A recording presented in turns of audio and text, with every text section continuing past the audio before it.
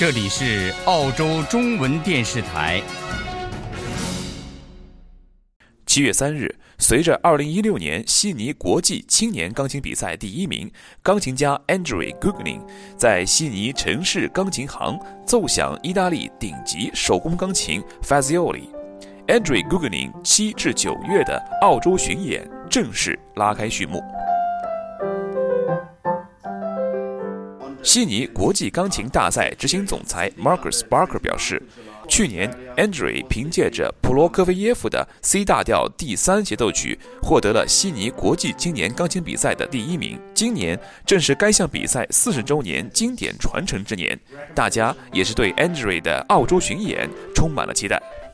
It's one of the biggest competition in the world, so it's it's I was really excited and privileged to to win. this one. 在见面会中，Andrew 用意大利顶级手工钢琴 Fazioli 为现场媒体们即兴演奏了一曲。Andrew 精湛的技艺和完美的表现，让现场的观众赞不绝口。而 Andrew 所使用的 Fazioli 钢琴也成为现场焦点。这架钢琴红色面镜烤漆和知名画家 Canaletto 的绘画作品相结合，这幅画表达的是庆祝古代威尼斯与中国之间的互动。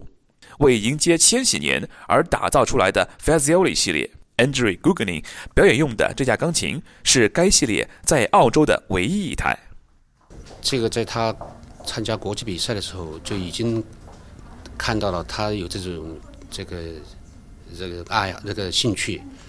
因为他们在复赛的时候，基本上所有的人都用这个品牌，我相信他对这个有一定的这个这个感情或者是体会。作为澳洲最大的钢琴行以及钢琴指定合作方 Australia Piano World 的城市钢琴行，多年来通过定期举办各类音乐会和钢琴比赛，培养爱好音乐的青少年，在悉尼地区享有一定声誉。